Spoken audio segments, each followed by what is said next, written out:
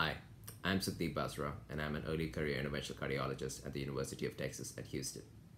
COVID 19 has affected the city of Houston, and as of today, the city of Greater Houston has about 5,000 plus cases and about 100 deaths.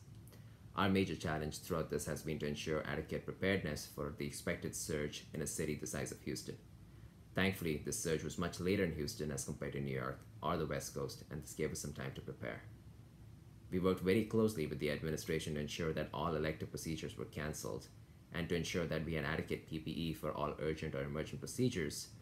Our division, interestingly, was divided into three different teams, with each team having one interventional cardiologist and two heart failure cardiologists, and each team rounding for one week and self quarantining at home for the next two weeks.